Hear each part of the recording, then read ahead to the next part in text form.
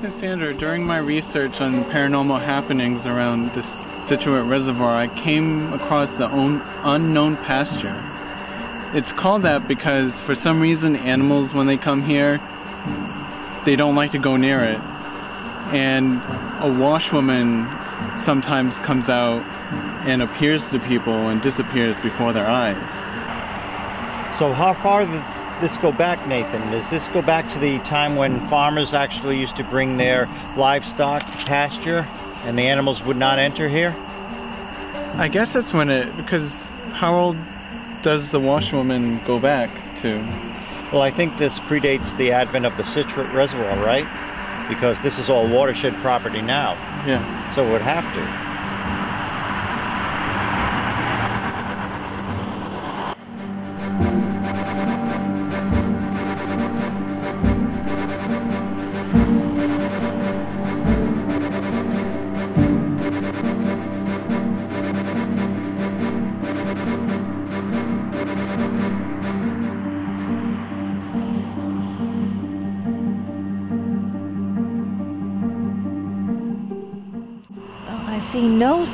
Sign of the washerwoman tonight. Maybe if you were walking alone here at night, you might. And most of this was pasture land anyway. Well, I- Grazing. I was reading that back in the probably the 1870s when Rhode Island was at its uh, peak agricultural usage, uh, the forest cover in the state was only down to 25%. That means 75% of the land in the state was cleared of the original forest. You see a lot more forest today than you did back then. Well, but yeah, this is all overgrowth. You know, after the advent of the Scituate Reservoir, after this was all uh, sanctioned off as watershed property. I So this is all second growth. Yeah, you can see none of the trees that are out there are more than 30 years old or so.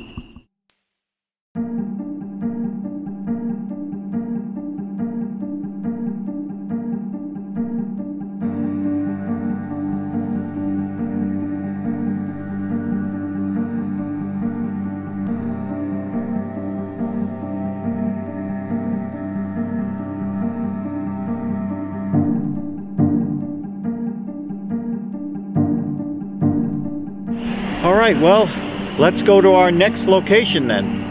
Sounds like a plan.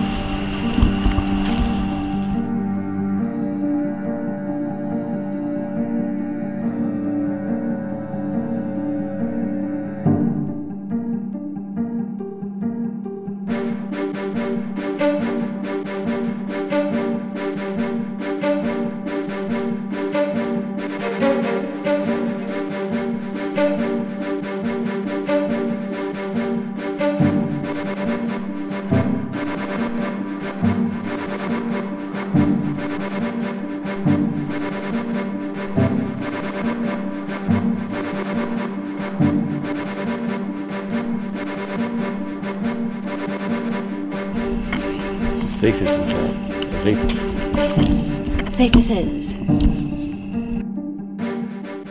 Tree is somewhere in here. Yeah. I'll show you. It's right there. Oh, See that okay. gnarled old trunk Yeah. going way up to the top? A tree that old, um, back when the land was clear, it would have had branches going out in all directions, like you see a tree growing in somebody's yard in the middle of a farm field. But since this uh, has been abandoned uh, as an agricultural field, obviously you can see all the trees around it are much younger. So what happens when a tree gets that old and has younger trees grow up around it, the younger trees start to shade out the lower branches and then the tree ends up abandoning them, they die and they eventually rot and fall off. So even though this tree is very, very old and it used to be very, very wide according to stories, um, it's now pretty much just a straight up and down tree in the middle of a much younger forest. But you can see how old it is from all the gnarls and uh, bumps where it used to have branches. And even though it doesn't look like a tree you could hang somebody from now, I'm sure a couple hundred years ago it had plenty of suitable branches. So that's the hanging tree, Nathan. What do you know about this place now that we've seen it? Uh, well, that tree is about 400 years old, and as you said, it was much bigger in its heyday. And the younger settlers into this part of Scituate used it as a hanging tree for people who did bad things. So behave. Okay. One has to wonder how many victims wound up doing a Spandau ballet off the branches of that tree in years past. Exactly how many? I don't know. countless. Countless. Given that you said people were hanged here, does anybody say anything about it being haunted? Yes, some people see forms hanging from the tree, and some people on occasion hear voices in this area. Well, it should be interesting to listen to our audio devices when we get back, see if we pick up anything ourselves. Uh, is there any documentation or any people alive today that claim to have had this experience here? I'm sure there are, but you probably have to ask around the local townsfolk to find out anything, or you know, go uh, research the Scituate Library. Keith, I think you said that they have extensive information on at least the reservoir, but I can't imagine that records of hanging were, would have been purged at any time. You could probably actually go and trace back and get names of people who, who were strung up here. But Probably as far could. as who's experienced it, you know, you just have to hit the streets and see if anybody knows any stories. True. We'll have to ask around. Sounds like a library trip would also be in order. Mm-hmm. I wonder how, what what era we're talking about, though. I mean, obviously pre-reservoir, but um, I mean, are we talking uh, early America, colonial, or, or what? I don't know. Well, where do you suggest we go next for our exploration? I guess next on our list is the Ponagansett Falls. Good place.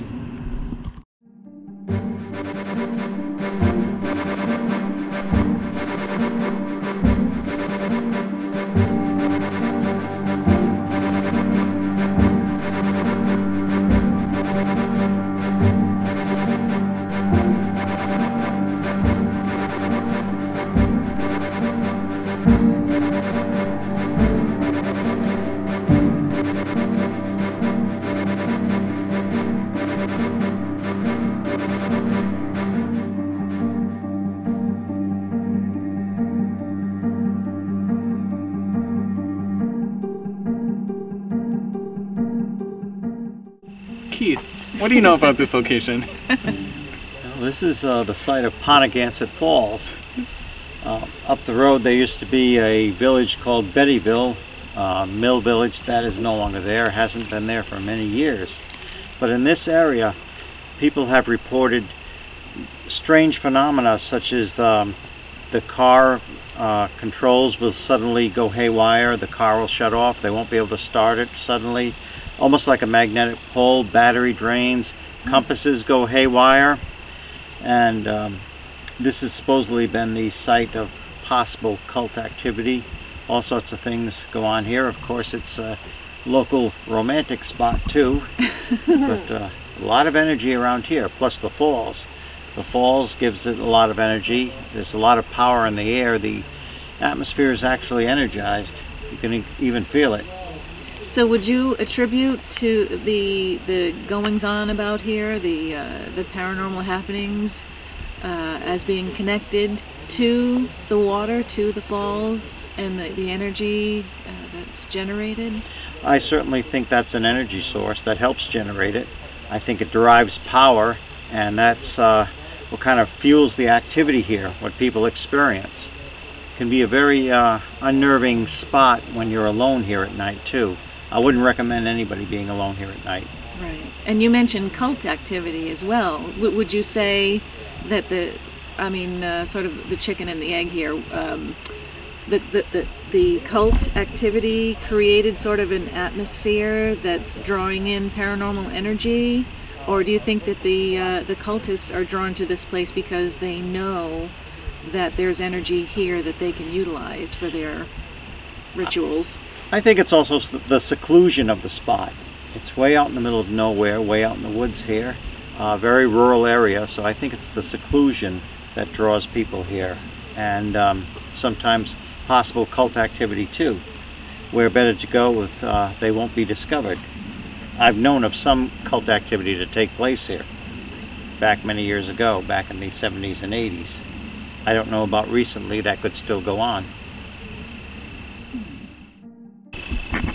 Is rather frustrating. I mean, every location that we visit in Scituate and, and, and nearby is, is, is very quiet when we get there.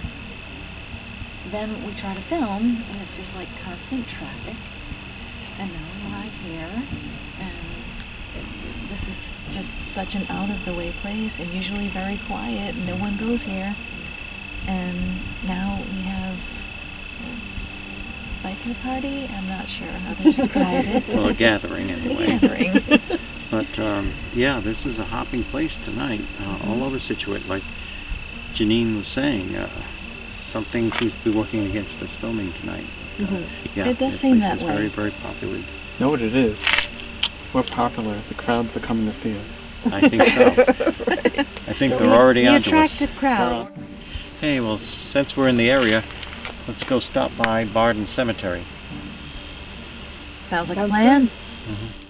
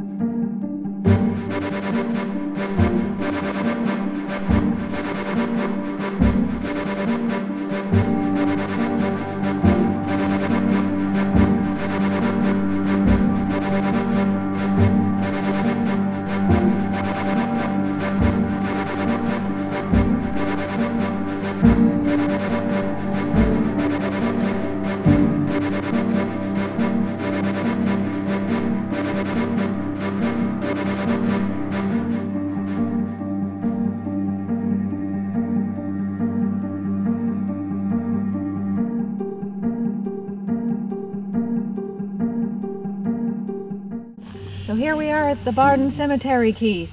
What can you tell us about this place? Well, a lot of prominent people in Scituate buried here. Barden is a very, very prominent name in the town of Scituate. Goes back many, many years, and there are still Bardens today, of course, that populate Scituate. Many famous town folk are buried here, and um, there has been reported cult activity taking place here over the years. In fact, at one time there was an incredible amount of damage here. Stones toppled over, uh, just just incredible damage, and there was even a reward out for the uh, information leading to the perpetrators. Uh, fortunately, this has been repaired over the years, so it's uh, it's a beautiful, beautiful cemetery, especially in the daytime. When we investigate a cemetery location, those are the cemeteries where we seem to pick up the most evidence. Yes. Um, have you yourself actually picked up anything here? Any EVP or or any any visual? I have not. I have not experienced anything paranormal here in this area.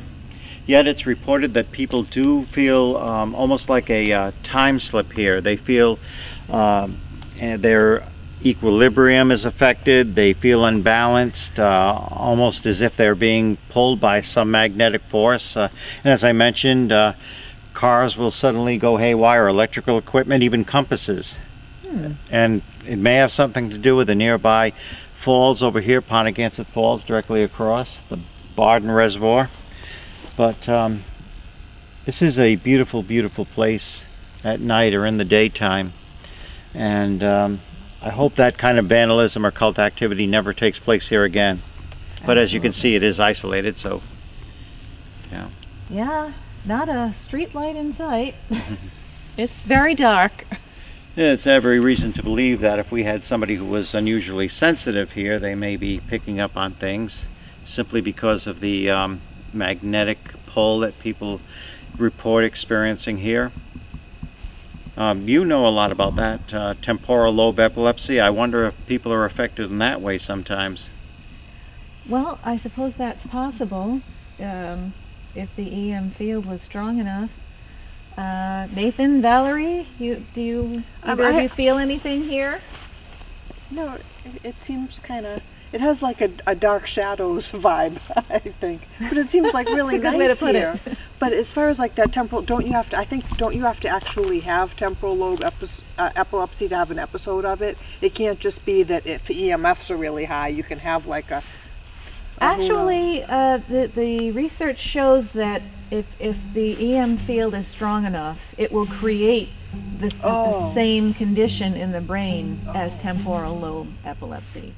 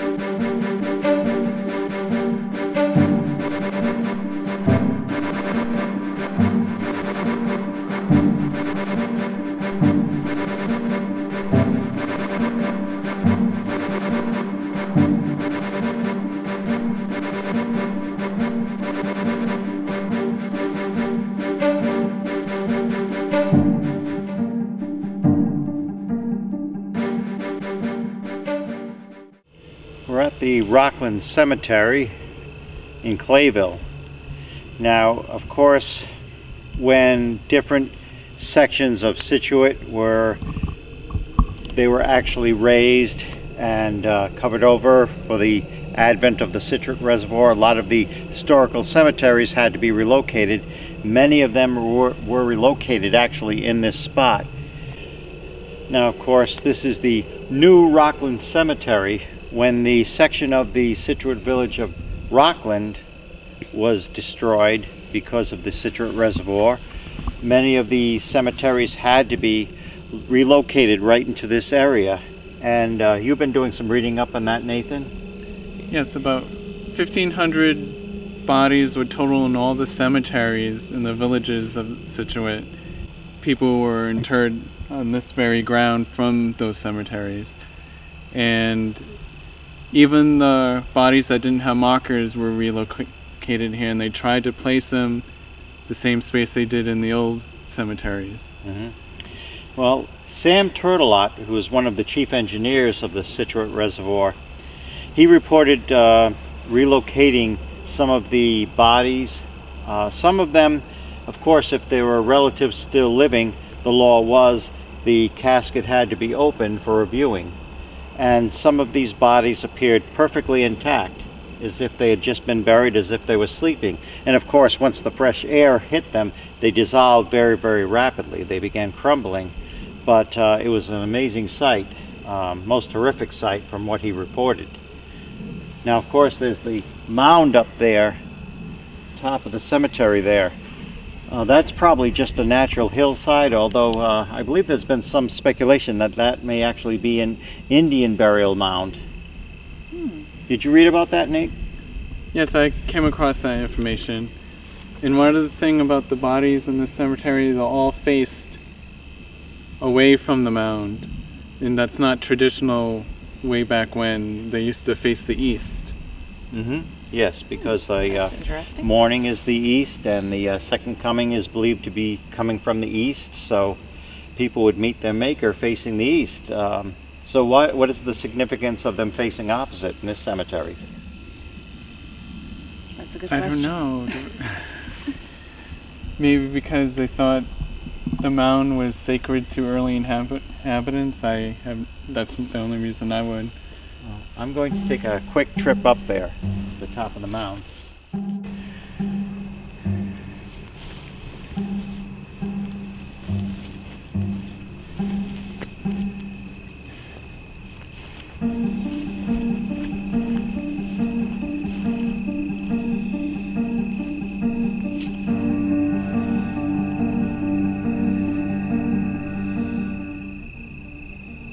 these headstones are so old they're just collapsed, broken apart. Some of the uh, grass has actually grown over them. Many are intact, perfectly intact, despite their age.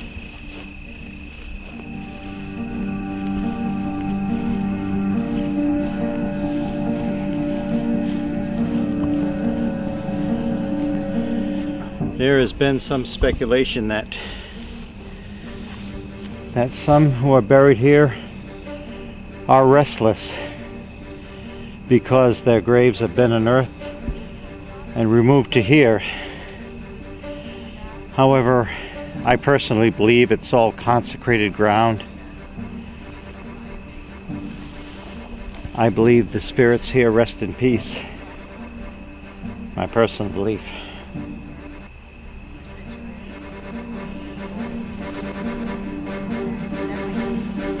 Day of the resurrection.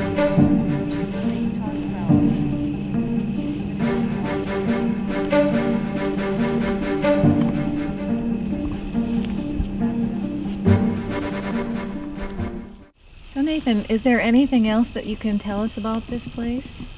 Uh, some people feel it's not haunted, but others believe otherwise. And I think if it is haunted, I think the people buried here are probably not happy with the move, or they're looking for familiar land or loved ones because they might be slightly confused on what happened. Right. I, I- think that would apply to this basically this this whole general area. You know, the fact that every everything was uprooted, uh, live people, and uh, and and cemeteries, whole cemeteries had to be um, relocated, and I, I think all of that upheaval just uh, gave this this whole area a strange energy and created these pockets of uh, pa- paranormal abnormality. Okay, well, I think we're done here for the evening. Uh, has everybody agreed? Let's move on to our next location. Let's keep on trucking. All right. Well put, Nathan.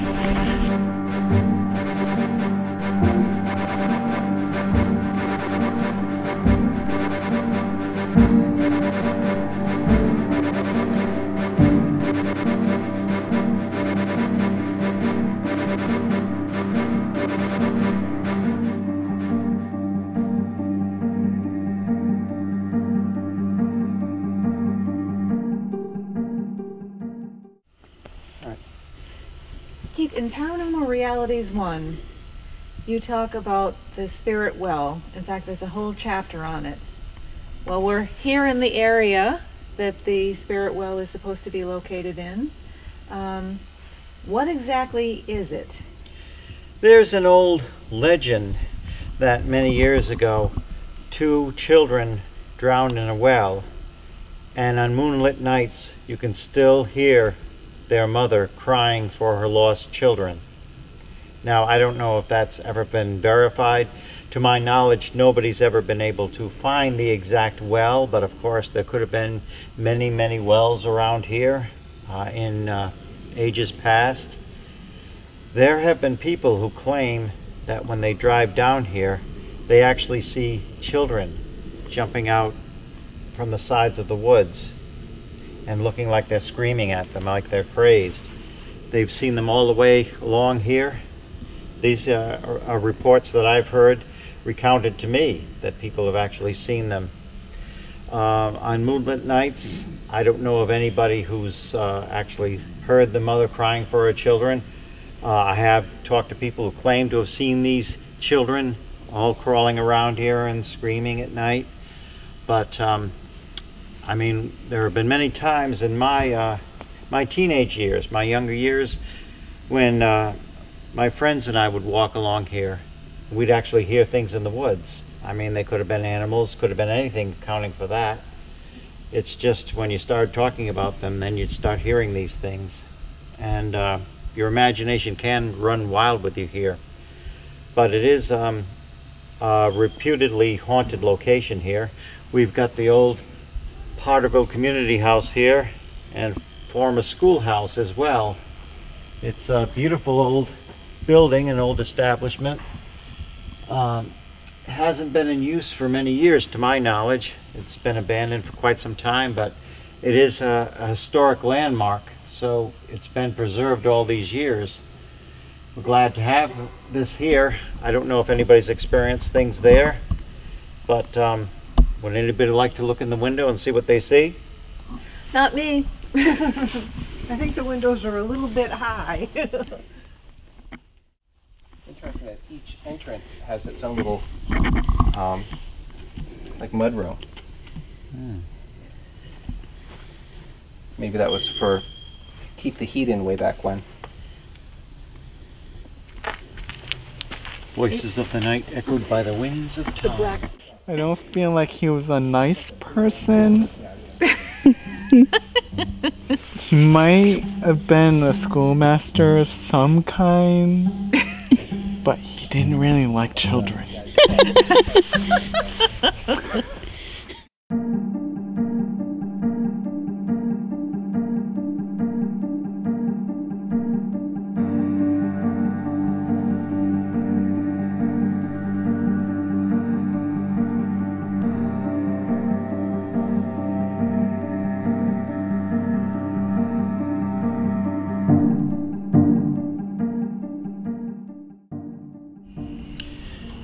certainly been an adventure tonight. Um, and now that we've actually been to the places, I think we should do some more historic research on it. What do you say? Time Agreed. for the in-depth. Maybe a visit to the uh, Scituate Public Library. I know uh, historically, when these towns were obliterated, sections of the uh, town of Scituate to put in the reservoir, people lost their homes that they've lived in for generation after generation, and I know there was at least one suicide where somebody shot themselves rather than leave. And another one slit their throat. hmm So at least two, two suicides that we know about. So we'll do some historic research to see what we come up with. Okay. There's more Okay. to the story.